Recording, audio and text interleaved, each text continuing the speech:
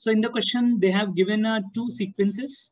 One is a AP with common difference 2 and the second one is a GP with common ratio 2 and they have given the first terms of both AP and GP are equal and they have given two times of the sum of the first n terms of the AP is equal to sum of the first n terms of the GP. So let's solve this one. So that will be two times of, as we know the formula of the sum of the n terms of the AP, that will be n by 2 and 2 times the first term and the first term is given as C here. So that will be 2C plus n minus 1 into the common difference. So in the question, they have given common difference as 2 and that will be equal to, so sum of the first in terms of the GP, that is the first term, which is C into common ratio raised to n minus 1 upon common ratio minus 1. So that is a into r raised to n minus 1 upon r minus 1. So if you do uh, this cancellation of 2 and 2 here, so we are going to left with n into, so this is 2c plus 2n minus 2 and that will be equal to c times of 2 raised to n minus 1. So we are going to club all the terms uh, containing c uh, to one side and the other terms to the other side. So what are we going to get? So this will be c times of 2 raised to n minus 1 minus 2n we are going to get. So that will be equal to uh, 2n square minus 2n, right? So from this we can directly write c is equal to 2n square minus 2n upon 2 raised to n minus 1 minus 2n. So this is what we got as the value of the c here.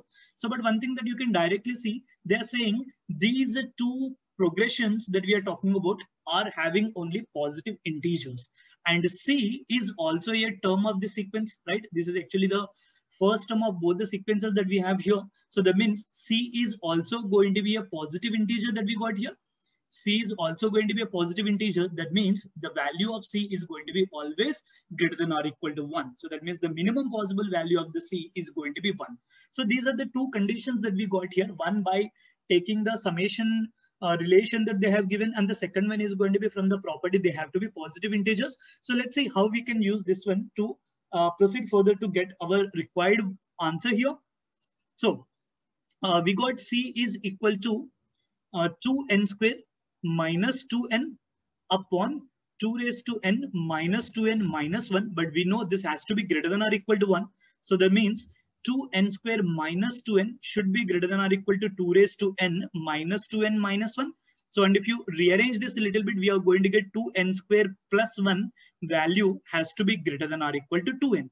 So now here, so as we know, n is going to be again positive numbers. That is going to be number of terms here. So if you see this condition will be true where for n equal to 1, 2, 3, 4, 5 and 6, right? So when you take n equal to 7 or more, this condition is going to become wrong. So all the possible values of n, whatever we are going to get is going to be either 1, 2, 3, 4, 5 or 6. Okay, but now we have to find out c also, right? c has to be integer positive integer that we know. C is given as 2n square minus 2n upon 2 raised to n minus 2n minus 1. So we are going to substitute the values of n here to find out what will be the value of c here. For example, if you put n equal to 1, we are going to get 2 minus 2 in the numerator and that will make it as 0. So we are going to get C equal to zero, but that is not a valid answer because we know C has to be a positive integer. Similar way, you put n equal to 2, n equal to 3, n equal to 4, n equal to 5, and n equal to 6. And only for n equal to 3, we are going to get C as some positive integer. For all other cases, we are not going to get that one as a positive integer. So what we are going to get here, how many values are possible? So we will be getting only one possible C. We will be having only one possible C and the value of that C is going to be 12 when n is going to be equal to 3. But in the question, what they're asking, right? So though we got n equal to 1, 2, 3, 4, 5, 6, all those values are not valid here because we have to get all the terms as positive integers also. So here you can directly see c equal to 12 is the only possible value that we are going to get when number of terms equal to 3. Okay, so now let's look at the question what they're asking. So uh, if you see, they're asking the number of all possible values of C for this inequality is satisfied some positive integer n. So what is the answer for this question?